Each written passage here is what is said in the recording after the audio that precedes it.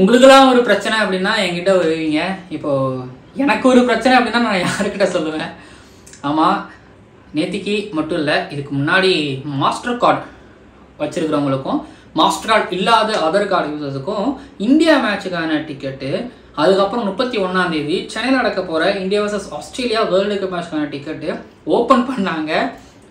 அது நடந்த கலைவரங்கள் ஒருத்தர் வந்து பார்த்தீங்கன்னா உங்களோட வீடியோஸ் பார்த்து தான் நான் எனக்கு அந்த டிப்ஸ் கிடைச்சது மூலமாக தான் நான் வந்து டிக்கெட் புக் பண்ணேன் அப்படின்னு ஒருத்தர் சொல்கிறாரு அதை நான் வந்து இன்ஸ்டாவில் ஷேர் பண்ணுறேன் அது ஒரு பையன் ரிப்ளை பண்ணுறான் எங்களுக்கெல்லாம் டிப்ஸ் டிப்ஸ் கொடுத்த உங்களுக்கே விபூதி அடிச்சிட்டாங்களே ப்ரோ அப்படி அதை சொல்லும் போது இந்த ஷோ இந்த ரணகலத்தே ஒரு குதூகலம் அப்படிங்கிற மாதிரி இருந்தது. அதுக்கப்புறம் Manoj Maddy the famous mashup editor இப்போல்லாம் ப்ரொமோஷன் வீடியோஸ்லாம் பண்ணுறாரு அவர் வந்து அந்த அந்த ட்வீட் அந்த ட்வீட்டுக்கு கீழே வந்து கமெண்ட் பண்ணுறாப்புல உங்களுக்கு ஸ்பெஷலாக வந்து ஐம்பது டிக்கெட்டை பற்றி நான் சொல்ல மாட்டேன்னு. எனக்கு என்னன்னா எனக்கு ஒரு டிக்கெட் கூட கிடைக்கல. ஒம்பது மேட்சுக்கு ஒரு டிக்கெட் கூட கிடைக்கல. நான் நிறைய விஷயம் உங்ககிட்ட ஷேர் பண்ணிக்கிறேன் நிறைய பேர் பேச சொன்னீங்க. இல்லை சிரிச்சுட்டு பேசுறேன்னு நினைக்கிறீங்க. எனக்கு டிக்கெட் கிடைக்கல. டிக்கெட் கிடைக்காம தான் நான் சிரிச்சு பேசிக்கிட்டு இருக்கேன். பழகிடுச்சு. லேடிஸ் இந்த ICC men's cricket world cup ரெண்டாயிரத்தி இருபத்தி மூணுல டிக்கெட் கிடைக்காத சோகத்துல இருந்து காலம் தான் பேசிக்கிட்டேன் என்ன நினைச்சோம்னா அப்படின்னா ஐபிஎல் அப்போ வந்து சிஎஸ்கே மேட்ச்க்கு இங்கே சேப்பாக்கில் நடக்குது அப்படின்னா டிக்கெட் புக் பண்ணுறப்போ பேடிஎம் சைடு ஓப்பன் பண்ணாலே புக்கே ஆகல. நிறைய டிக்கெட்ஸ் எப்படி போகுது என்ன ஆகுது அப்படிங்கிற மாதிரி தெரியல. அதுக்காக வந்து பாத்தீங்கன்னா காசி தத்தா அவரு ஒரு சில எக்ஸ்பிளனேஷன்லாம் கொடுத்தாரு. சரி ஓகே ஐபிஎல்ல தான் இப்படி ஆச்சு. எக்கச்சக்கமான ரேட்ஸ் வச்சு வித்தாங்க அப்படின்னு ஒரு பக்கம் இருக்கும்போது சரிப்பா இந்த ஐசிசி கிரிக்கெட் வேர்ல்டு கப் ரெண்டாயிரத்தி இருபத்தி மூணுக்காவது நம்மளுக்கு டிக்கெட் கிடைக்கணும் எக்கச்சக்கமான ரசிகர்கள் வந்து ஒரு ஆர்வத்தோட நான் உட்பட எல்லாரும் உங்களை மாதிரி தான் ஆ உங்களுக்கு ஸ்டார் ஸ்போர்ட்ஸ் தமிழ்ல டிக்கெட் கொடுப்பாங்க. உங்களுக்கு இல்லாத கான்டாக்டா நீங்க என்ன அப்படின்லாம் நீங்க சொல்லுவீங்க. ஆனால் உங்களை மாதிரி நானும் ஒரு ரசிகன் தான். புக் மை ஷோவில் தான் நானும் டிக்கெட் புக் பண்ணுவேன். என்ன ஆச்சு அப்படின்னா எட்டு மணிக்கு இல்லை மாஸ்டர் கார்டு வச்சுக்கிறவங்க வச்சிருக்கிறவங்களுக்கு வந்து முன்ன ஆறு மணிக்குன்னாங்க உள்ள போனா இந்த பக்கம் எட்டு மணி அப்படின்னு சொன்னாங்க மாஸ்டர் கார்டு இல்லாதவங்களுக்கு. ஓப்பன் பண்ணி உட்காந்தா ஓப்பன் பண்ணி உட்காந்தா அரை மணி நேரம் இல்லை ஃபர்ஸ்ட் இரு கியூல நிக்கணும் அப்படிங்கிற மாதிரி இருந்துச்சு. இருபது நிமிஷம் முப்பது நிமிஷம் கியூல நில்லுங்க. திரும்ப அந்த இருபது முப்பது கம்மியாகும்னு பார்த்தா அது நாற்பது நிமிஷம் ஆச்சு ஒரு மணி நேரம் ஆச்சு ரெண்டு மா ரெண்டு மணி நேரம் ஆச்சு சில பேருக்கு ஒரு ஒரு நாள் காட்டுச்சு ரெண்டு நாள் காட்டுச்சு. அதுக்கப்புறம் குறைஞ்சிக்கிட்டே வந்து சரிப்பா முடிஞ்சிச்சுப்பா நம்ம உள்ள போய் டிக்கெட் புக் பண்ணலாம்ப்பான்னு உள்ள போய் புக் பண்ண போனா என்ன நடந்தது தெரியுங்களா? எவ்வளவு ரேட்டு எல்லாத்தையும் செலக்ட் பண்ணிட்டு இந்த சீட்டை செலக்ட் பண்ணும்போது அது போனா டக்கு வெளியில வருது. என்னடா? போனா சோல்ட் அவுட்னு வருது. கிளிக் பண்ணா சோல்ட் அவுட்னு வருது. அந்த எந்த சீட்டை கிளிக் பண்ணா சோல்ட் சோல்ட் அவுட்னு வருது. நம்ம வரத்துக்கு வர நம்ம கியூ கியூன்னு வரும்போதே கிட்டத்தட்ட ஒரு ரெண்டு மூணு டிக்கெட் மட்டும் தான் இருக்கு. மிச்சம் எல்லாமே சோல்ட் அவுட் ஆகுது.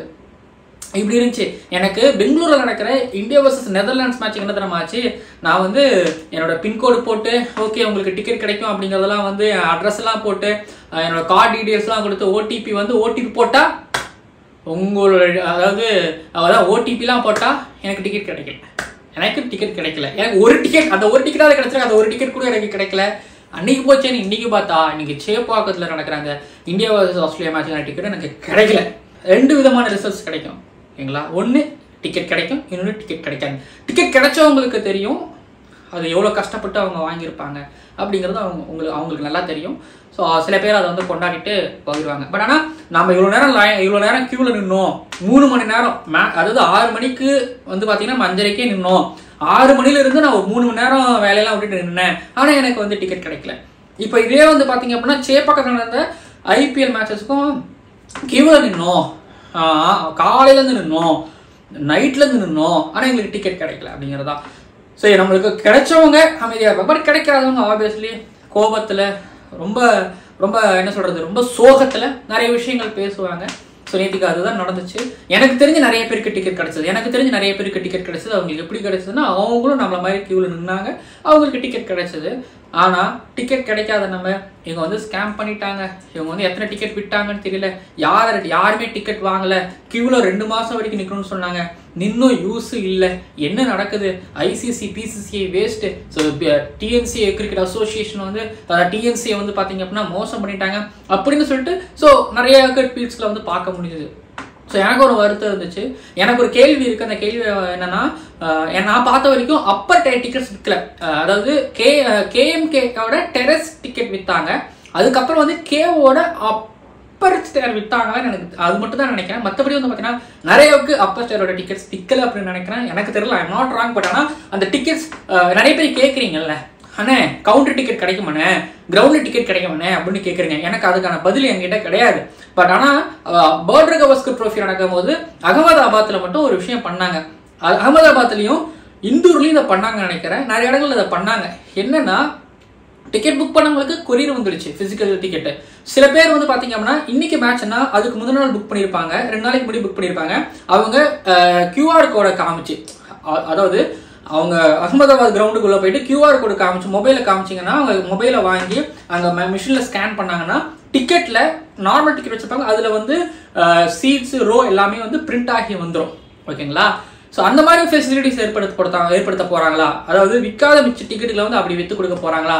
இல்லைன்னா வழக்கம் போல வந்து பாத்தீங்கன்னா கிரிக்கெட் அசோசியேஷனில் இருக்கவங்களுக்கு கொஞ்சம் டிக்கெட்டு அதுக்கப்புறம் வந்து பாத்தீங்கன்னா ஸ்பான்சர்களுக்கு கொஞ்சம் டிக்கெட்டு ஐசிசியில் இருக்கவங்களுக்கு கொஞ்சம் டிக்கெட்டு பிசிசியில் இருக்கவங்களுக்கு கொஞ்சம் டிக்கெட் சொல்லிட்டு ஸோ கொடுக்க போறாங்களா? அப்படிங்கிறது எனக்கு நிஜமாலுமே எனக்கு தெரியவும் இல்லை.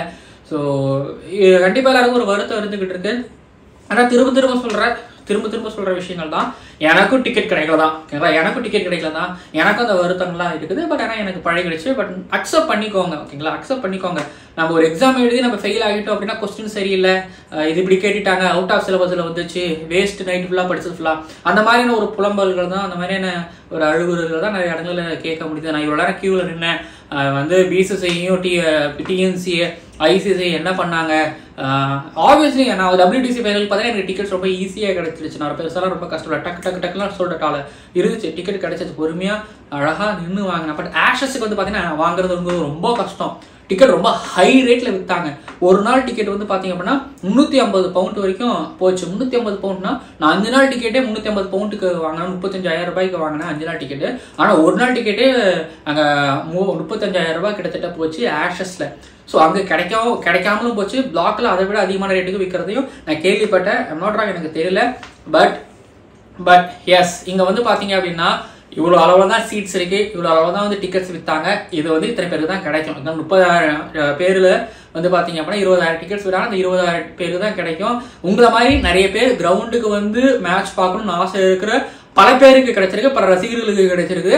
அது நம்மளுக்கு கிடைக்கல அப்படிங்கிற மாதிரி தான் வந்து இருக்கும். அடுத்தது நெதர்லாண்ட்ஸ் வர்சஸ் இந்தியா மேட்ச் பெங்களூரில் ஓப்பன் பண்ணுவாங்க முடிஞ்சா போய் பாருங்க. அண்ட் கிடைக்கலையா? ஒன்றும் இல்லை வருத்தப்படாதீங்கங்களா ஃப்ரீயாக வீட்டில் உட்காந்து ஸ்டார் ஸ்போர்ட்ஸ் ஒன் தமிழில் ஸ்டார் ஸ்போர்ட்ஸ் ஒன் தமிழ் ஹெச்டியில் டிஸ்னி ஹாஸ்டால் உட்காந்து ஃப்ரீயாக நீட்டாக ஃப்ரெண்ட்ஸ் கூட உட்காந்து பாருங்கள் ஓகேங்களா காசும் உங்களுக்கு மிச்சம் இல்லைங்களா? அலைச்சல் மிச்சம் அப்படிங்கிற மாதிரி பாருங்க. எப்படா வேர்ல்டு கப் போய் பார்க்க போறோம்? எப்படா கிரௌண்டில் போய் பார்க்க போறோம்? எனக்கு ஒரு ஆசை இருந்துச்சு நான் எங்க அப்பாவை கூட்டு போயிட்டு வேர்ல்டு கப் பார்க்கணும் அப்படிங்கிற ஒரு ஆசை எனக்கு இருந்துச்சு. என் ஃப்ரெண்ட்ஸுகளுக்கு நான் சில பேருக்கு வாக்கு கொடுத்துருந்தேன் என்னால் போய் பார்க்க முடியல. என் ஃப்ரெண்ட்ஸுகளுக்கு கொடுத்த வாக்கு என்னால் காப்பாற்ற முடியல. ஸோ அந்த இடத்துல வந்து எனக்கு வருத்தம் தான் பட் என்ன பண்ணுறது அக்செப்ட் பண்ணிட்டு தான் ஆகணும். இதில் நம்மளால எதுவும் ஒன்றும் பண்ணவும் முடியாது. அவ்வளோ தூரம் நாயிலிருந்து டிக்கெட் கிடைக்கலன்னா நான் இது வந்து என்ன சண்டை போட்டுட்டு இருக்க முடியுமா? அடிச்சு கத்திக்கிட்டு கத்திட்டு அழுதுகிட்டு இருக்க முடியுமா? முடியாது. நான் ஆன்லைன் டிக்கெட் புக் பண்ணேன். நானும் வெயிட் பண்ணிட்டு தான் இருந்தேன். வேலையெல்லாம் விட்டுட்டு வெயிட் பண்ணிட்டு தான் ஒரு பக்கம் ஏஷியா கப் மேட்ச் போயிட்டு இருந்தேன். அதெல்லாம் பார்த்துட்டு இந்த பக்கம் வெயிட் பண்ணிட்டு தான் இருந்தேன். பட் கிடைக்கல. பட் அக்செப்ட் பண்ணிட்டு தான் ஆகணும். என்ன மாதிரி ஒரு கிரிக்கெட் ஃபேன் பார்த்துக்கிட்டு இருக்கேன் அப்படின்னு சொல்லிட்டு பார்க்க போறேன் அப்படிங்கிறத நினைச்சு நான் சந்தோஷப்பட்டு போயிட்டே இருக்க வேண்டியதான் மூவ் ஆன் ஆக வேண்டியதுதாங்க. அப்படியே நின்று நிற்க கூடாது இதனால வந்து நம்ம அவங்க திட்டுறதுனாலயோ பிசிசி திட்டுறதுனாலயோ டிஎன்சி திட்டுறதுனாலயோ ஐசிசி திட்டுறதுனாலயோ வந்து எந்த விதமான யூஸும் கிடையாது. நம்ம டைம் வேஸ்ட் பண்ணுறோம் அப்படிங்கிற மாதிரி தான் வந்து இருக்கும். ஸோ ஓகேங்களா டீ டிக்கெட்ஸ்லாம் ரேட்ஸ்லாம் ரீசனபிளாக இருந்துச்சு. பட் எவ்வளோ டிக்கெட்ஸ் விற்றாங்க எவ்வளோ டிக்கெட்ஸ் இன்னும் இருக்குது அலாட் பண்ணாங்க அப்படிங்க அலர்ட் பண்ணாங்க அப்படிங்கிற தெரியல. அந்த விஷயம் மட்டும் இன்னும் கொஞ்சம் ஓப்பனாக பண்ணாங்கன்னா இன்னும் பெட்டராக இருக்கும். ஸோ எப்பயாவது ஒரு தடவை தான் தலைவர் படம் வருது. ஆனால் நம்ம தலைவர் படத்துக்கு ஃபஸ்ட் டே ஃபர்ஸ்ட் டிக்கெட் கிடைக்கலன்னா நம்ம அமைதியாக போகிறோம்ல பட் அதே மாதிரி தான் வந்து பார்த்தீங்க அப்படின்னா நம்ம ஊருக்கு எப்பயாவது ஒரு தடவை தான் தலைவர் படம் வரும். அப்போ பார்க்க முடியல அப்படின்னா நம்ம என்ன பண்ணுவோம்? ஸோ அமைதியாக போகணும். வேறு வழி கிடையாது. அக்செப்ட் பண்ணிட்டு தான் ஓகேங்களா டென் என்ன? அந்த தலைவர் படத்தை ரொம்ப ரொம்ப டைஹார்ட் ஒரு தலைவர் ஃபேன் அந்த எஃபோர்ட் போட்டு லைனில் நின்று இல்லை புக் மை ஷோவில் ஓப்பன் பண்ணி சொன்ன உடனே அவன் உட்காந்து டிக்கெட் புக் பண்ணியிருப்பான் கிடச்சிருக்கல ஸோ நம்மளுக்கு தெரியும் அதே மாதிரி தான் இல்லைங்களா? அங்கே ஒரு தலைவர் ஃபேன் இங்கே வந்து நம்மளோட டைஹார்ட் கிரிக்கெட் ஃபேன் அவ்வளோதான் எனஃப் அப்படி அப்படி அக்செப்ட் பண்ணிட்டு மூவ் ஆனாங்க ஓகேங்களா தென் அடுத்தடுத்து நிறைய விஷயங்கள் பேச போகிறோம் என் மறக்காம சப்ஸ்கிரைப் பண்ணுங்க. பக்கத்தில் பெல் ஐக்கான கிளிக் பண்ணுங்க. கிரிக்கெட் ரசிகர்கள் குரலா? கிரிக்கெட் ரசிகனா? உங்களோட குரலா? நான் கிரிக்கான உட்காந்து நான் பேசுகிறேன் ஸோ இந்த வீடியோ நிறைய மறக்காம சப்ஸ்கிரைப் பண்ணுங்க. பார்க்கலாம் அடுத்த வீடியோக்களில்